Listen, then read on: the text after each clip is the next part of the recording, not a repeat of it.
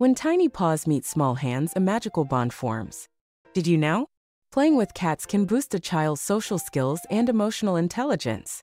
For a safe and loving friendship, supervise their first meetings and teach gentle strokes, not tight hugs. This bond teaches children empathy and responsibility, growing into a source of joy and mutual respect. Truly, the best friendships sometimes come on four legs.